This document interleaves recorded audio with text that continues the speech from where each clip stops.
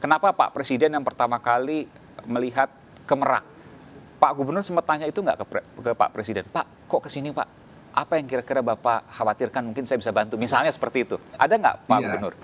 Eh, betul, jadi eh, Banten ini kan satu kutub Jawa Sumatera yang merupakan mobilisasi penduduk baik dari Jawa ke Sumatera maupun pada akhirnya sebaliknya nanti. Eh, kalau kita lihat bahwa Bapak Presiden sangat eh, memberi perhatian karena simpul Jawa Sumatera ini ada di Merak ini ya, eh, satu kawasan Provinsi Banten. Eh, Oleh karenanya inilah apa yang disebut dengan pemerintah hadir untuk memberikan layanan sebaik mungkin dengan segala ikhtiar yang kita bisa lakukan.